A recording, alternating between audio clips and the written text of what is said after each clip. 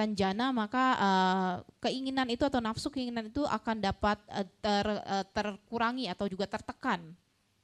So, and it is fully abandoned by the path of non-returning anagami. Nafsu keinginan itu akan dapat sepenuhnya uh, kita tinggalkan ketika seseorang sudah memasuki atau menapaki tahap ya anagami atau yang tidak kembali lagi. That means at that stage, sensual desire will never arise again. Dalam tahapan tersebut, dalam tataran tersebut, nafsu keinginan itu tidak akan muncul kembali.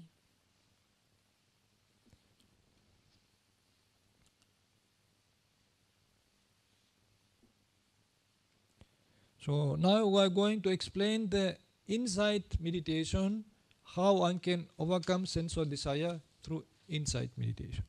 Berikut Bante akan jelaskan bagaimana seseorang dapat mengatasi uh, munculnya nafsu keinginan itu melalui meditasi vipassana. So then, uh, now in samatha meditation, we use this method to overcome, to suppress at least sensual desire. If this sensual desire is very powerful, very strong, so then one can start using samatha meditation to suppress it. Jadi dalam meditasi samatha itu dapat membantu seseorang untuk mengatasi atau juga uh, dalam hal ini me menekan dulu nafsu keinginan yang muncul dengan sangat kuatnya. And as we told, 32 parts of the body are the most uh, helpful meditation in samatha. Jadi ini adalah uh, perenungan terhadap 32 bagian dari tubuh yang sangat berguna dalam meditasi samatha. So, but if this mid, uh, s- sensual desire is not so strong, one can still overcome it by vipassana meditation. Ketika nafsu keinginan yang muncul ini tidak terlalu kuat, maka seseorang itu dapat mengatasinya melalui meditasi vipassana. So that means it comes uh, not in a very intense way, but it can obstruct the mind. So one can use it, use vipassana meditation, and then can easily overcome it. Hal ini dalam hal ini munculnya nafsu keinginan itu tidak terlalu uh, intens atau tidak terlalu kuat, namun uh, dalam hal ini tetap mengganggu dalam meditasi. Namun dalam meditasi vipassana itu dapat kita amati dan kita dapat melampaui atau juga mengatasinya dengan cukup mudah. So, as we have seen, the principle in vipassana observation is to observe the rise and fall of every observed mental and material object. Jadi ini adalah prinsip dasar atau juga aturan dasar dalam uh, pengamatan vipassana yaitu dengan pengamatan muncul dan tenggelamnya dari uh, objek atau materi uh, materi mental dan juga materi batin dan jasmani. So, in this way, now, even in this case, the Buddha explains how to observe the rise and fall of this sensual desire or of these hindrances. Dalam hal ini Buddha menjelaskan bagaimana seseorang itu dapat mengamati muncul dan tenggelamnya dari uh, nafsu keinginan ini yang uh, atau juga rintangan tersebut. So, this is to see that even if sensual desire arises in the mind, so it does not stay for long. It is a certain period, it stays, and then after some times it loses its power and it falls. Dalam hal ini uh, kemunculan dari nafsu itu uh, nafsu keinginan itu muncul namun dia mungkin hanya tidak berlangsung berlang- berlangsung dengan lama dan kemudian dia akan tenggelam lagi. In this case, one can see the impermanent nature of this sensual desire. Dalam hal ini seseorang dapat mengamati ketidaktetapan atau juga tidak tetapnya dari nafsu keinginan ini. And if one sees impermanent nature, one does not cling to this sensual desire. Ketika melihat hal ini merupakan hal yang tidak permanen atau tidak tetap, maka dia tidak akan uh, me- melekatinya, melekati dari nafsu keinginan tersebut.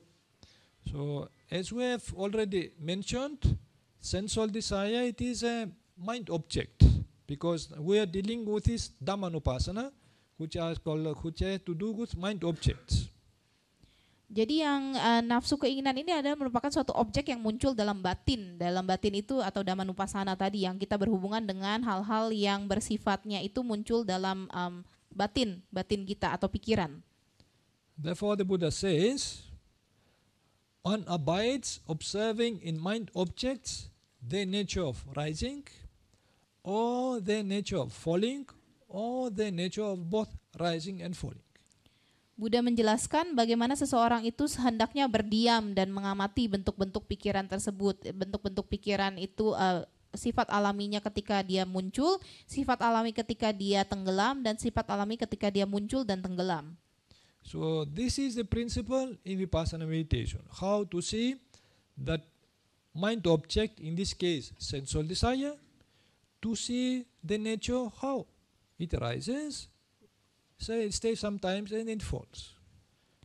Dalam hal ini kita mengamati sifat alami dari bentukan pikiran itu dalam hal ini yaitu nafsu, keinginan. Bagaimana ketika ia muncul, dia akan bertahan sebentar dan kemudian dia akan tenggelam. So therefore, if one observe the sensual desire, it rises, it has a lifespan, it stays for some times in the mind, and after after some, it loses its power and it falls. Dalam hal ini uh, yang munculnya tadi uh, nafsu keinginan itu dalam batin dia muncul kemudian dia akan bertahan sebentar dan kemudian dia akan tenggelam. That is the, when the meditator see this fleeting nature, this impermanent nature of this sensual desire. Dengan demikian seorang meditator itu dapat melihat sifat alam uh, sifat alami yaitu sesuatu itu tidak tidak tetap adanya dan dia bersifat uh, sangat tidak tetap It sees as a phenomenon, mental phenomenon, which uh, merely comes in the mind and then uh, it has no much power and it goes away. Dengan demikian munculnya nafsu keinginan itu dia muncul dan dia karena tidak memiliki kekuatan yang cukup uh, besar maka dia akan kemudian tenggelam kembali.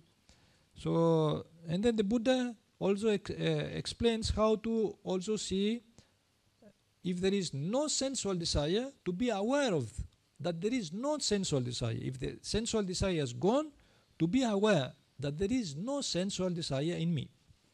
Buddha juga menjelaskan ketika seseorang tidak memiliki nafsu keinginan, hendaknya seseorang juga mengamati, oh tidak ada tidak muncul nafsu keinginan dalam dirinya dan mengamati hal tersebut. So therefore now we have already explained that when the Buddha told to see the presence of sensual desire, if there is sensual desire in me, to understand the presence of that. But then he says also to understand the absence.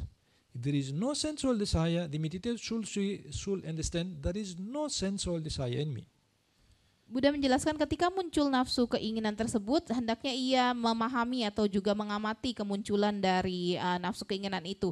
Namun juga ketika uh, nafsu keinginan itu absen atau tidak ada, maka seorang meditator juga hendaknya mengamati bahwa tidak muncul uh, adanya nafsu keinginan. So this is to contra- to see the contrast. What is the difference between when the mind has sensual desire and when the mind has no sensual desire? Hal ini berguna untuk kita dapat mengamati perbedaan dari uh, ketika batin itu memiliki nafsu keinginan dan ketika batin itu tidak memiliki nafsu keinginan. Jadi kita bisa melihat kontrasnya atau uh, perbedaannya. So the difference is that when there is sensual desire in the mind, the mind wants something, desire something, there is some tension in the mind. Hal ini berguna ketika uh, kita bisa mengamati ketika muncul suatu nafsu keinginan dalam batin, maka ketika batin itu menginginkan sesuatu, maka akan muncul suatu ketegangan dalam batin itu. There is anxiety in the mind. There is something a, a great expectation and the mind is agitated. Pikiran itu menjadi terganggu karena ada suatu pengharapan, ada juga suatu keinginan di sana. But if there is no sensual desire, so the mind is peaceful, is calm. Ketika tidak muncul uh, nafsu keinginan dalam batin atau dalam pikiran, maka tidak akan uh, batin itu menjadi sangat tenang, menjadi sangat uh, hening. But even this calmness, it also the Buddha says to observe.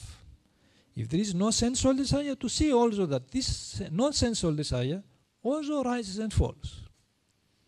Buddha juga menya, me, mengajarkan agar kita juga mengamati ketika tidak muncul suatu nafsu keinginan kita tetap mengamati batin kita mengamati bagaimana dia muncul kemudian dia akan tet, uh, bertahan sebentar dan kemudian dia akan tenggelam. That is also not permanent. That is also transient. Hal ini juga bersifat tidak tetap dan juga bersifatnya hanya sementara. So that is also the good part with vipassana, because one does not either cling in the sensual desire, one sees the transient nature, the impermanent nature, and he does not cling also this peaceful nature of no sensual desire. Hal ini berguna dalam uh, pelatihan meditasi vipassana karena uh, batin itu tidak hendak, hendaknya tidak terpenga, uh, tidak melekati ketika pikiran itu muncul uh, nafsu keinginan dan juga tidak melekati pada munculnya kedamaian ketika tidak ada nafsu keinginan karena hal ini bersifat tidak tetap. Because he sees in both. Sensual desire rise and falls. Non-sensual desire, this peaceful calmness of non-sensual desire also rise and falls.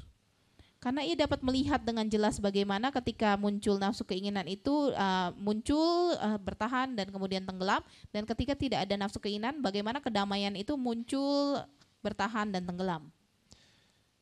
So, therefore now the Buddha says, mindfulness, that there are mind object, that means uh, the sensual desire just a mind object. One should be mindful of that.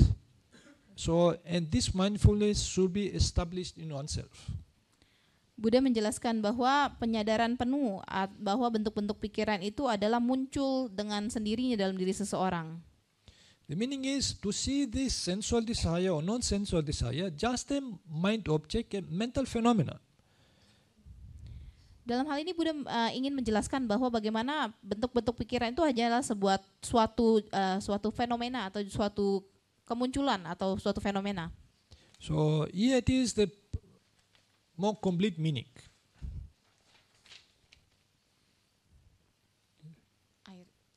Here is the most complete meaning. Uh, berikut adalah artinya yang lebih jelas atau lebih uh, detail. Now, for observing like that, the meditator understands there is only the mind object or a mental process. Dalam hal ini seorang meditator hendaknya mengerti bahwa hanya ada bentuk pikiran atau juga proses dari Therefore, batin. this ment- uh, sensual desire or non-sensual desire is just a mental process. So there is not a being, not a person. Jadi bentuk-bentuk pikiran itu tadi contohnya dari nafsu keinginan itu adalah suatu hanya suatu proses batin. Jadi bukan suatu uh, bentukan atau suatu makhluk atau bukan juga orang. Not a woman, not a man. Bukan seorang perempuan, bukan seorang laki-laki. Not a self, not what belongs to a self. Bukan diri dan juga bukan apa yang uh, bukan milik diri. Not I, not mine. Bukan aku dan bukan milikku. Not somebody or not what belongs to somebody. Bukan seseorang dan bukan apa yang um, dimiliki oleh seseorang. That is why the meditator, by seeing this rise and fall of desire, of non-desire, he can does not identify himself with this mental object, this mental process.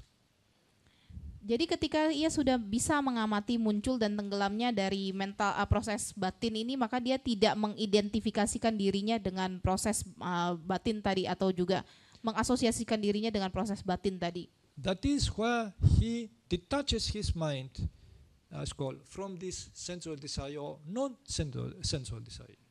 Dengan demikian ia menjauhkan dirinya atau tidak uh, melekatkan dirinya pada nafsu keinginan tadi dan juga yang bukan nafsu keinginan.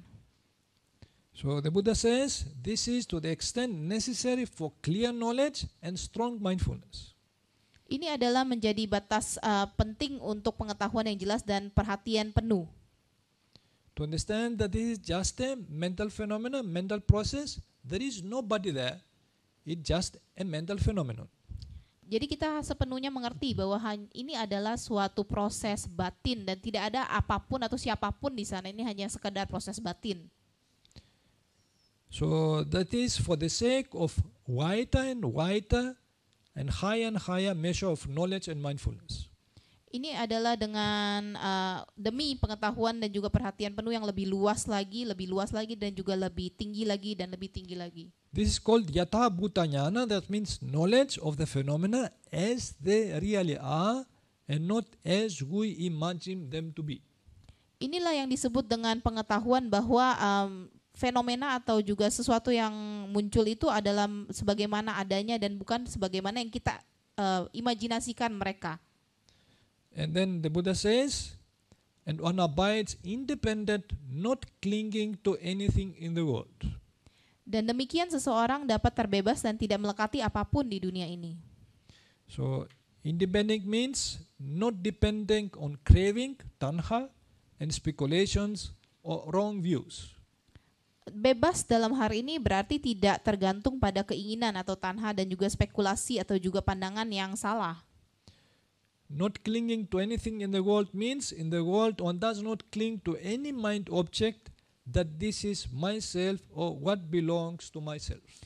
Tidak melekati pada apa pun yang ada di dunia ini berarti bahwa di dunia ini seseorang tidak melekati uh, tidak melekat pada bentuk-bentuk pikiran yang berpandangan bahwa ini adalah punyaku dan ini juga adalah diriku dan ini dimiliki oleh aku. Now here the Buddha speaks about not clinging to anything. Therefore, by seeing this rise and fall, rise and fall, rise and fall, rise and fall, rise and fall of desire, of non-desire, one does not see this that belongs to me. It's just a mental process which arises and falls. And uh, this is how the meditator can detach his mind and does not get bedragged, does not get um, somehow uh, attracted to this sensual desire and so forth. And ultimately, his mind became independent, does not cling to this sensual desire.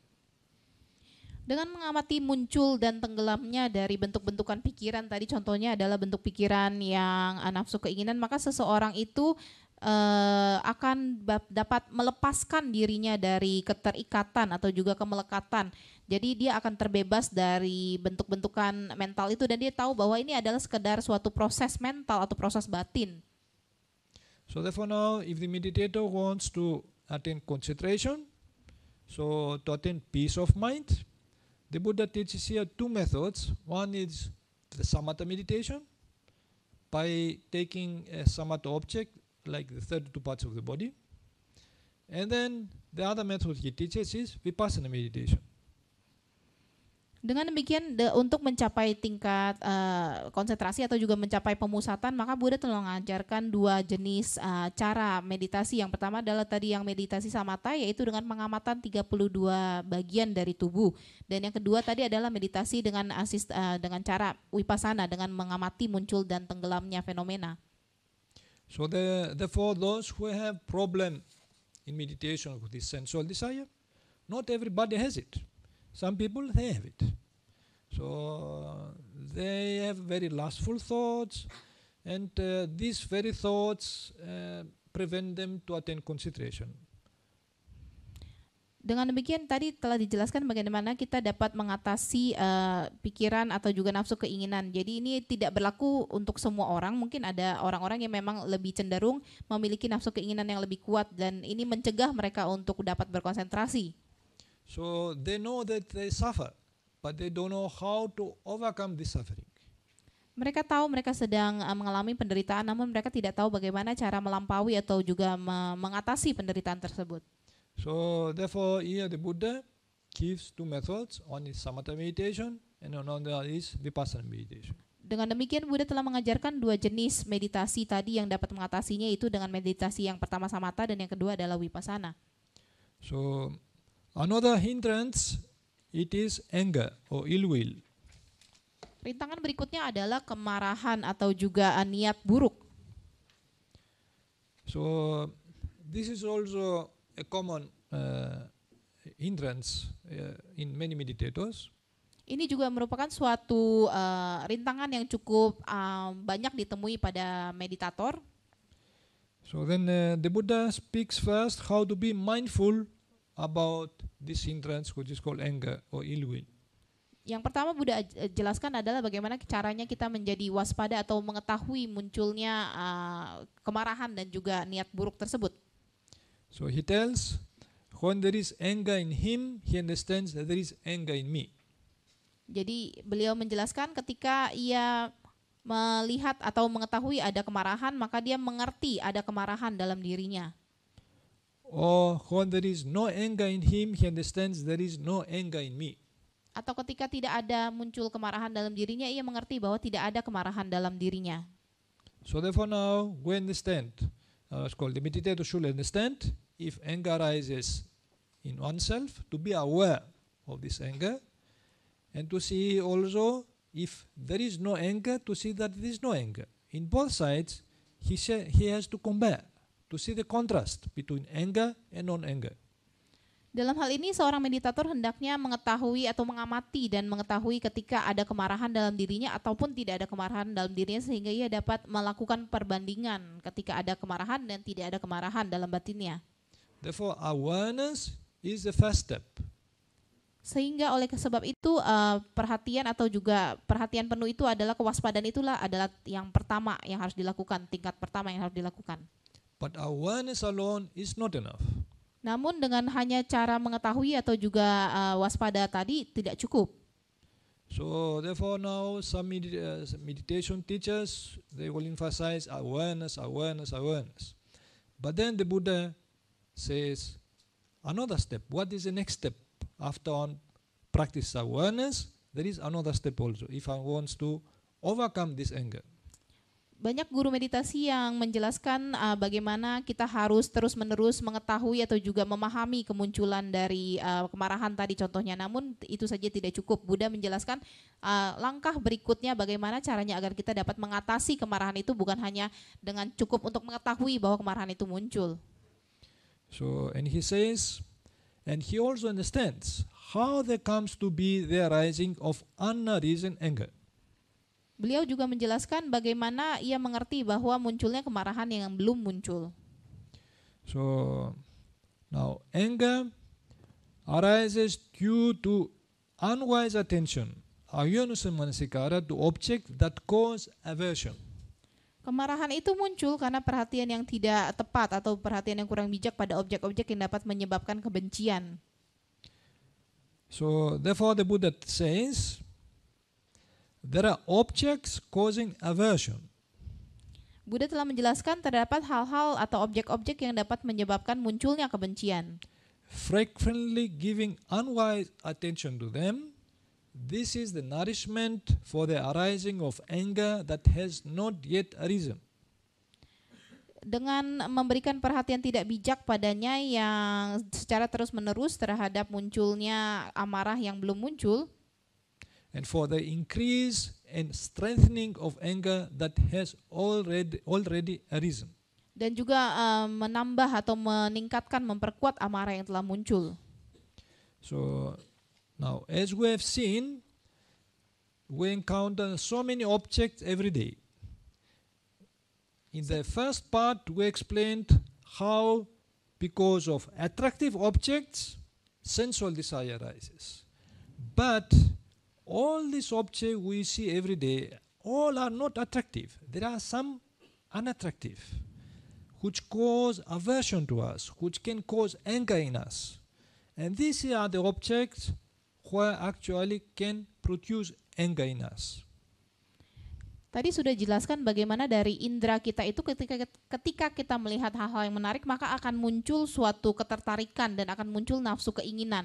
Namun dari hal-hal yang kita lihat atau juga kita bersentuhan melalui indera kita setiap hari tidak semuanya itu baik atau indah. Namun juga ada hal-hal yang bersifat tidak menarik atau juga menimbulkan kemarahan atau kebencian. Maka hal inilah yang akan menyebabkan munculnya amarah dalam diri kita. That's why the Buddha says there are objects causing aversion. If one does not give wise attention to them, that is how one allows this anger to come in or nourishes this anger. Jadi Buddha telah menjelaskan bagaimana ada hal-hal yang dapat menyebabkan munculnya hal uh, yang kita tidak sukai atau kita uh, benci dan dengan memberikan perhatian yang tidak tepat padanya maka ini akan menyebabkan kemunculan amarah yang belum muncul. Therefore, now object we see, they can cause us anger. Now, although there are colors, some colors we like, some colors we dislike. So some shapes we like, sometimes some shapes we dislike. So whatever it is, whether it's human beings, there are some human beings they have beautiful shape, other very ugly shape. So we see beautiful object in the street. Sometimes we see ugly object in the street. That is where the mind it is all the time fluctuating between attraction Setiap hari dari hal-hal yang kita lihat itu ada hal-hal yang menarik. Kalau hal-hal yang menarik itu akan menyebabkan kita tertarik padanya dan akan memunculkan keinginan, nafsu keinginan. Namun juga yang kita lihat itu tidak semuanya indah, tidak semuanya menarik. Namun ada juga hal-hal yang bersifat uh, kita tidak sukai sehingga memunculkan kemarahan. Ada warna-warna yang kita tidak suka, ada warna, ada bentuk-bentukan yang kita, kita tidak suka, ada manu, ada orang-orang yang kita suka karena mungkin cantik dan juga menarik, ada juga orang-orang yang kita tidak suka karena mungkin buruk rupa dan dengan demikian yang menarik itu akan memunculkan nafsu keinginan, yang tidak menarik itu akan memunculkan rasa amarah atau kebencian. Jadi kita dapat melihat bagaimana pikiran kita itu atau batin kita itu senantiasa um, berfluktuasi atau juga ber ber, berganti-ganti. So, and there are sounds which are beautiful, you are attracted, but there are sounds like horning, horning, horning of cars, which are they can cause anger in us. They are ugly sounds. Jadi demikian halnya juga dengan suara. Ada suara-suara itu yang bersifat abai, uh, bersifat menarik itu kita suka. Namun ada suara-suara yang uh, mungkin me menyebalkan. Jadi contohnya tadi itu misalnya ada suara klakson, klakson mobil itu yang menyebabkan munculnya amarah dalam diri kita. So there are smells which are very attractive to us, but there are smells which are very repulsive and we get angry because of the smells. Demikian juga dengan bebauan, ada bebauan yang menarik yang kita suka dan ada juga bebauan yang kita tidak suka karena uh, sangat uh, baunya tidak enak. And there are tests which are attractive, but there are tests which are very uh, unpleasant for us, unattractive to us. And because of that, we get angry. Dan juga demikiannya halnya dengan rasa. Rasa itu ada rasa-rasa yang enak yang kita suka dan kita tertarik padanya dan ada juga rasa-rasa yang tidak enak yang kita, kita tidak suka dan menimbulkan kemarahan dalam diri kita. And the object we touch, they are very pleasant, but the object we touch are very unpleasant and we get angry ada juga objek-objek yang bisa kita eh, yang kita pegang yang menarik dan kita sukai. Ada juga objek-objek yang kita pegang dan ternyata kita tidak suka dan kita menjadi benci dan marah karenanya. Therefore if we investigate how this desire sensual desire comes in my mind and how this anger comes in our mind is because we are influenced by this object we see we hear we smell we taste and touch Dengan demikian ketika kita mengamati kemunculan dari keinginan atau nafsu keinginan dan juga kemarahan itu adalah karena berkese, kita bersentuhan dengan hal-hal di luar sana yang kita dengar, kita lihat, kita sentuh. So in this way we're actually like automatic automatic machines which if we press this button uh, we have desire. If we press a different button uh, we have anger. Jadi demikian uh, kita ibaratnya itu seperti mesin. Jadi kalau kita pencet satu tombol itu, oh kita jadi suka nih, kita suka satu tombol lagi kita benci, kita marah. Therefore, if object impinge in our eye which are uh, attractive, is like a button comes in our eye, we get desire inside. Yes. Jadi ketika kita melihat hal-hal yang menarik tuh misalnya memunculkan uh, rasa yang kita sukai, maka itu akan okay, seperti ibaratnya menekan tombol, oh kita suka, jadi kita muncul nafsu keinginan. And if objects which are come in our mind, impinge in our eyes, which are unattractive, very ugly to us, or repulsive, immediately like, like a button comes in our eye, and then anger arises in us. Ketika kita bersentuhan dengan objek-objek atau kita melihat hal-hal yang buruk uh, itu uh, seperti ibaratnya kita menekan tombol satu lagi yang memunculkan rasa marah, rasa benci dalam uh, tu, dalam batin kita. Therefore, we must understand this sensual desire or angry anger do not arise accidentally. Demikian hendaknya kita menyadari bahwa uh, nafsu keinginan ataupun juga kebencian itu tidak muncul dengan uh, tidak disengaja atau tidak di, tidak muncul dengan uh, tiba-tiba.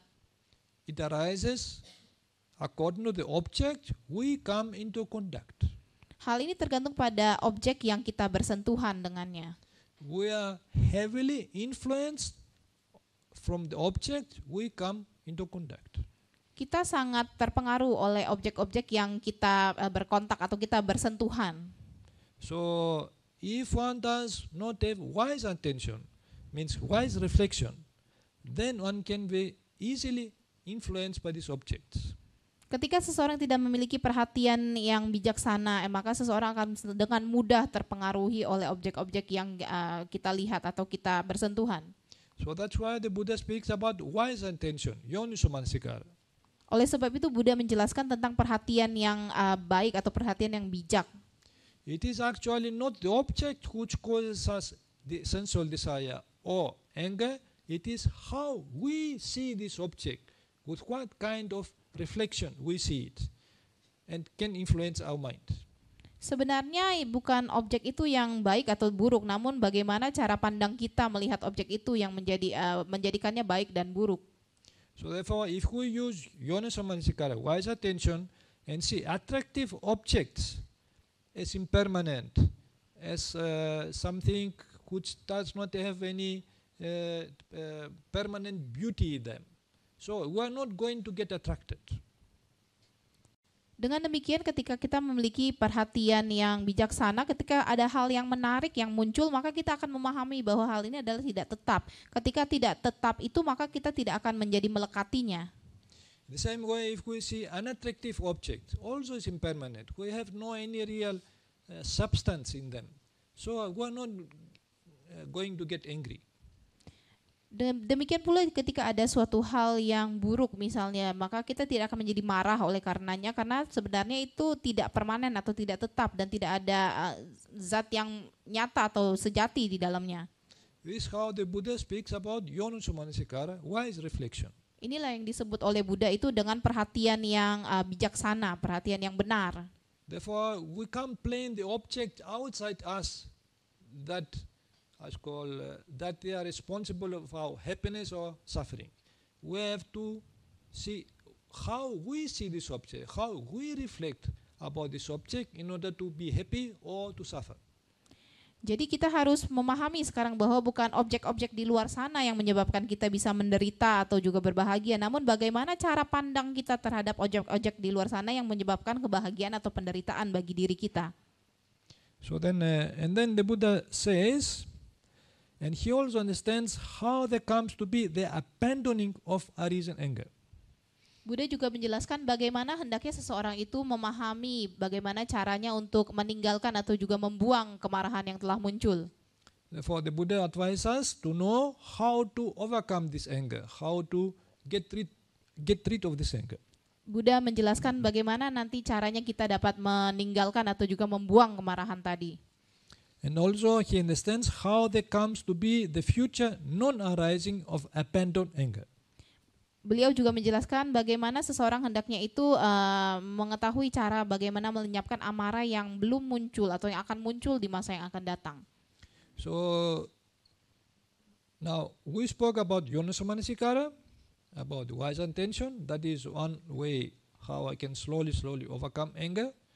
But the Buddha advises other methods also.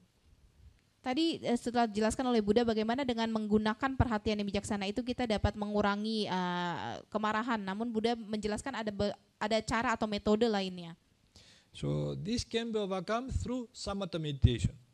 Hal ini dapat digunakan uh, dapat kita dapat menggunakan meditasi samatha. So, we'll see later how this can be overcome by vipassana meditation also. Dan kita akan melihat juga bagaimana caranya dari sisi meditasi vipassana. So, anger can be abandoned by the development of friendliness, metta meditation. Kemarahan itu dapat di, eh, dikikis atau juga dibu- eh, di- ditinggalkan dengan pengembangan meditasi, eh, pengembangan cinta kasih. This the Buddha calls the liberation of the mind by friendliness, metta ceto vimutti. Inilah yang Buddha sebut dengan pembebasan batin dengan cinta kasih. Therefore, the Buddha says, there is the liberation of the mind by friendliness, Buddha telah menjelaskan ini adalah cara untuk pembebasan eh, batin dengan cinta kasih. frankly using, giving wise attention to it. This is the denourishing of the arising of anger that has not yet arisen and of the increase and strengthening of anger that has already arisen. Dengan memberikan perhatian yang bijak terhadap eh, cinta kasih tersebut, maka dapat mengurangi kemunculan, eh, mengurangi amarah yang telah muncul dan juga untuk mengurangi amarah yang ak- yang belum muncul. And again, the Buddha says, there is the escape from anger, ill will, hate. This is the escape from anger, ill will, ill will, hate. The liberation of the mind by friendliness. This is called metta ceto vimutti. Inilah yang disebutkan oleh Buddha bagaimana ke- jalan keluar dari kemarahan, niat buruk dan juga kebencian, yaitu pembebasan batin melalui cinta kasih atau juga metta ceto wimuti. Again, he says, cultivate the meditation of friendliness, metta. For by cultivating the meditation of friendliness, anger disappears. Buddha telah menjelaskan ma- hendaknya kita mengembangkan meditasi eh, meditasi cinta kasih dengan mengembangkan meditasi cinta kasih maka kemarahan itu akan menghilang. So now you might have heard about metta meditation. We are going to explain a little bit about this topic. Dan Bante sekarang akan menjelaskan sedikit tentang eh, topik eh, meditasi meta ini. Now the word metta comes from mitta, which is Sanskrit means friend. Jadi kata meta itu berasal eh, asal katanya itu adalah dari mita bahasa Sanskertanya mitra atau teman. And actually means the disposition of a friend. Dan That ini is that is friendliness. dan ini merupakan eh, sifat sifat sebenarnya berarti sifat dari eh, persahabatan atau juga sifat bersahabat. It is a friendly goodwill and wish for the welfare and happiness of oneself and of others. Ini merupakan suatu uh, niat baik, niat bersahabat dan juga uh, mendoakan kesejahteraan dan kebahagiaan bagi orang lain dan juga dirinya sendiri. Now, in English, uh, there are different translations of this word metta. Dalam bahasa Inggris itu uh, meta ini banyak ada perbedaan terjemahannya. So sometimes it is translated like love, Terkadang diterjemahkannya sebagai uh, meta itu diterjemahkan dalam bahasa Inggris itu love. Sometimes as loving kindness. Terkadang juga diterjemahkan menjadi loving kindness. These are the most common terms. Ini adalah uh, yang kata-kata yang paling sering digunakan. Both terms come from the Christian tradition. Jadi kedua kata-kata ini berakar dari tradisi Kristen. Uh, Kristen. So therefore now, if we see the way the Buddha explains about metta, uh, it has nothing to do with love. Jadi kalau kita uh, tadi me- kita akan melihat penjelasan tentang kata meta itu sebenarnya tidak berhubungan dengan love atau bahasa Indonesia itu cinta. It is like uh, metta means like you feel friendly with others, but you don't love him, love them. Ya. Jadi uh, ibaratnya itu istilahnya kalau meta itu adalah sebenarnya rasa bersahabat gitu. Jadi bukan cinta dalam arti cinta kayak uh, pasangan gitu. That means you are not uh, angry with them, you are, don't have any aversion towards them, you are treated in very polite way, like a friend. Jadi artinya meta itu sebenarnya adalah uh, kita bersahabat. Jadi memiliki sifat bersahabat terhadap seseorang. Kita tidak marah terhadap mereka, kita tidak memiliki kebencian. Kita menganggap mereka itu sebagai sahabat, teman. Now in Pali there is also a word for love, and that is called pema. Jadi Oh. dalam dalam bahasa Pali itu ada satu istilah lagi untuk love, love atau cinta itu namanya itu pema Or in Sanskrit called prem, prema. atau dalam Sanskerta itu disebut prema. Another word is piya or priya. Di kata lainnya itu pria, Priya. Priya. or priya. pria. So these are common Hindu Hindi words, Sanskrit words, Pali words for love. Ini adalah kata yang sebenarnya dipakai untuk istilah love atau cinta itu dalam bahasa uh, Sanskerta, bahasa Hindi dan juga bahasa Pali. Here, for example, if you want to learn Hindi, how to say love in Hindi, you have two options: pyar or prem. Jadi ini uh, love ya, love itu cinta itu dalam bahasa Hindi itu bisa disebut pyar atau prem. So, from ancient times, these are the uh, in Hindi language like Pali, Sanskrit, and so forth. These are the two words used for love. Jadi dari masa yang lampau itu ini adalah dua kata yang digunakan untuk menerjemahkan love atau cinta. But uh, the thing is that the Buddha has nothing good to tell about love. Jadi yang dijelaskan oleh Buddha itu bukan istilah dengan cinta ini nanti. If we see what the Buddha says about Pema or Piya, he says like that. Dan dijelaskan oleh Buddha tentang love itu atau pema itu adalah sebagai berikut. He says, From love springs sorrow, from love springs fear. Dari cinta itu atau pema atau pia, pria itu akan muncul eh, kes- kepedihan. Dari kepedihan itu akan muncul ketakutan. For him who is wholly free from love, there is no sorrow, whence then fear. Dari mereka, bagi mereka yang sepenuhnya bebas dari cinta tadi itu tidak akan ada kepedihan atau apalagi ketakutan. So love is a kind of attachment. Jadi bentuknya itu cinta itu adalah seperti keterikatan atau kemelekatan. If one not attached to a person and that he loses that person, then that sorrow uh, comes in one's own mind. Ketika ia mm, eh, cinta cinta itu tapi melekat cintanya itu melekat maka dia akan merasa eh, ketakutan kalau orang itu pergi. Jadi kalau orang itu pergi maka ia akan merasakan kepedihan dan juga eh, ke- kesedihan. Therefore, love is the path to sorrow, to dukkha, to suffering. Dengan demikian love atau cinta itu adalah jalan menuju ke penderitaan atau juga eh, ke kedukaan. That's why the Buddha does not praise it, because it leads to suffering. Oleh sebab itu eh, cinta atau love tadi yang ingin melekat itu adalah tidak tidak dianjurkan oleh Buddha karena akan membawa kita kepada penderitaan. Now, what he says about love, he says the same about craving. Yang Buddha jelaskan tadi mengenai cinta yang melekat itu adalah sama yang Buddha jelaskan mengenai keinginan. He says also from craving, tanha, springs sorrow, from craving springs fear. Buddha jelaskan bahwa dari keinginan, nafsu keinginan itu akan muncul kepedihan atau kesedihan. Dari kesedihan itu akan muncul rasa takut. For him who is wholly free from craving, there is no sorrow, whence then fear. Bagi mereka yang sepenuhnya terbebas dari eh, keinginan, maka tidak akan ada kepedihan dan juga ketakutan. Therefore, we must understand that love and craving are a cause for sorrow, for suffering, for dukkha. Dengan demikian love atau cinta yang melekat tadi dan juga keinginan itu akan membawa kita pada kepedihan dan juga penderitaan atau duka. But metta is not like that. Friendliness is not like that. Namun meta atau juga eh, cinta kasih itu berbeda. That's why the Buddha recommends metta. To be friendly with others is different than to love them, to be attached to them. Jadi Buddha menjelaskan bahwa menjadi bersahabat, bersifat bersahabat em, eh, dengan meta itu berbeda dengan eh, mencintai mereka dengan melekat. So you become a mitra with others. Don't become like uh, uh, uh, at- attached to others. Dalam hal ini Anda menjadi mitra atau juga sahabat bagi eh, orang lain dan bukan menjadi melekat kepada mereka. So and therefore now metta can be used as samatha meditation, serenity meditation. Meta ini dapat digunakan sebagai suatu objek meditasi samatha.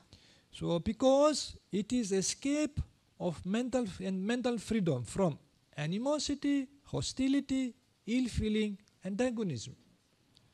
Hal ini em, meditasi meta ini dapat membebaskan kita dan membebaskan batin kita itu dari kebencian, permusuhan, niat buruk, keburukan. Therefore, the metta liberates the mind of this negativity of anger, hostility, and so forth. Dengan demikian, meta itu membebaskan batin kita itu dari rasa perasaan negatif, dari kebencian, dari juga eh, ke- em, kekasaran dan juga kemarahan.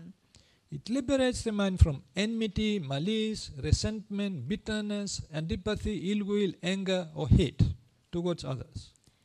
Yang meditasi meta tadi juga dapat eh, membantu kita untuk melepaskan diri dari rasa permusuhan, kebencian, dendam, kegetiran, antipati, niat jahat, kemarahan, dan kebencian terhadap orang lain. Therefore, the met, uh, called a person who practices metta, he wants to liberate his mind from negativity. Orang-orang yang melatih prak- uh, praktek meditasi meta itu ingin membebaskan dirinya dari uh, um, kemarahan atau kebencian, Not to feel any angry, anger towards others uh, and so forth, but to feel friendly towards others. tidak menjadi marah terhadap orang lain, namun menjadi bersahabat dengan orang lain. So, in order to practice this, there is a method. Uh, Untuk melakukan meditasi ini, maka ada suatu cara. so now, uh, most uh, uh, mostly, so uh, the instructions who are given for metta meditation, it is just to recite something, a list of things. Umumnya praktek meditasi meta ini eh, sekarang dilakukan dengan cara un- melafalkan, melafalkan se- se- se- se- kata-kata gitu. So, like for example, maybe without anger, may my parents without anger, my my enemies, my uh, these people, and so forth. There is a list to recite. Jadi contohnya itu eh, dalam pelafalannya itu ketika praktek meditasi meta, contohnya kita dijelaskan bahwa semoga saya terbebas dari kebencian, semoga keluarga saya terbebas dari kebencian, semoga eh, musuh saya juga terbebas dari kebencian dan kemarahan seperti itu ada daftarnya. So, that is also good, but this is recitation. This is not meditation. Hal ini juga sebenarnya cukup baik, namun ini adalah suatu jenis pelafalan dan ini bukan merupakan uh, bentuk meditasi. So, and uh, I will show you now the difference that uh, how to practice medita- metta meditation and not metta recitation. Bante akan menunjukkan bagaimana itu bedanya uh, meditasi meta dan juga pelafalan meta atau juga pendarasan meta. So, in recitation, usually we use only words, we don't have an object. Dalam pelafalan itu umumnya kita hanya punya kata-kata, namun kita tidak punya suatu objek. So, in meditation, we use words, but we should have an object also. Dalam meditasi itu kita menggunakan kata-kata tersebut, namun kita punya suatu bentukan atau gambaran. Therefore, if we wish ourselves may be without anger, we should take ourselves as an object. Jadi ketika kita sedang mendaraskan semoga saya terbebas dari kemarahan, maka kita menggunakan uh, kita sendiri, bat, uh, tubuh jasmani kita sendiri sebagai suatu objek. That is actually, if we take ourselves as an object, then we can concentrate and then you can see that the results are much higher. You can get rid of this anger much faster. Jadi ketika kita mengambil suatu gambaran mental tentang uh, semoga saya terbebas dari kemarahan tadi itu, maka kita dapat mencapai hasil yang lebih cepat. Jadi kita dapat terbebas dari kemarahan itu lebih cepat. So therefore in meditation one can achieve samadhi because one has concentration, because one has an object in his mind. Uh, oleh sebab itu maka ketika seseorang sedang bermeditasi itu maka dia memiliki suatu objek atau gambaran dalam batinnya. And that is the aim of meditation, to achieve samadhi, concentration. Itu adalah tujuan dari meditasi yaitu mencapai samadhi atau juga pemusatan. So in this case now with metta meditation, we take ourselves as an object and then wish ourselves, may I be happy, may I be without anger, like that. Dengan demikian, ketika kita sedang berpraktek meditasi tersebut, kita mengambil diri kita itu sebagai suatu objek. Jadi kita uh, mengambil gambaran diri kita sebagai objek dan kita mendaraskan semoga saya terbebas dari uh, dari kemarahan, semoga saya berbahagia. So if other people come in our mind, you can remember them, the image of them, the way we have seen these people, and wish them also to be without anger. Ketika kita sedang bermeditasi dan muncul gambaran dari orang lain, maka kita juga dapat uh, mendaraskan dan kita juga dapat melafalkan semoga orang tersebut juga terbebas dari kemarahan, orang tersebut juga terbebas dari kebencian dan orang tersebut berbahagia. So therefore, in that case, we have an object, and we use uh, very uh, called um, uh, positive words towards us or towards others. Dengan demikian, ketika kita sedang bermeditasi tadi, kita memiliki suatu uh, objek dan juga kita memiliki suatu um, suatu pendarasan atau juga suatu doa semoga mereka berbahagia atau terhadap diri kita yang muncul tadi atau orang lain yang muncul dalam uh, gambaran batin itu. That is how this is called meditation because we have object upon which we can concentrate and can achieve higher degrees of samadhi. Inilah yang disebut dengan meditasi. Jadi kita memiliki suatu objek dan kita dapat memusatkan perhatian kita kepada objek tersebut agar dapat mencapai uh, tingkat konsentrasi yang lebih tinggi. One more point, one more point I want to explain here. It is that in metta meditation we have two parts. One part is to remove negative thoughts, and the other part is to increase positive thoughts. Ada dua bagian dalam meditasi meta. Yang pertama itu adalah untuk meninggalkan atau juga mengurangi pikiran negatif dan juga yang kedua adalah meningkatkan pikiran atau juga hal-hal yang positif. So now if we wish may I be without anger, we want to remove a negative uh, disposition of our mind. Ketika kita mendaraskan semoga saya terbebas dari kebencian, maka kita sedang berusaha untuk meninggalkan atau mengurangi hal-hal yang negatif dalam diri kita. But in other suttas like Karanayavata Sutta, the Buddha explains how to increase also positive uh, thoughts, like wish ourselves may I be happy or may oth- other people be happy. Yang kedua tadi adalah dengan meningkatkan hal yang positif. Contohnya dalam Karania Meta Sutta itu Buddha mengajarkan kita bagaimana caranya untuk meningkatkan kualitas kebaikan kita itu dengan cara uh, tadi mendoakan agar diri kita bahagia dan juga uh, mendoakan agar orang lain juga menjadi berbahagia. Now, to be happy, something positive, which many people like to have, positive. So, but anger is something negative. In this way, we try to remove first negative, negativity of our mind, like anger, hate, and so forth, and then increase positive thoughts in our mind by wishing ourselves may I be happy, may I be well, and so forth, or maybe other people be happy, may they well. Jadi dalam hal ini bahkan ada dua sisi tadi. Yang pertama adalah meningkatkan hal yang positif. Jadi tadi mendoakan orang lain itu menjadi bahagia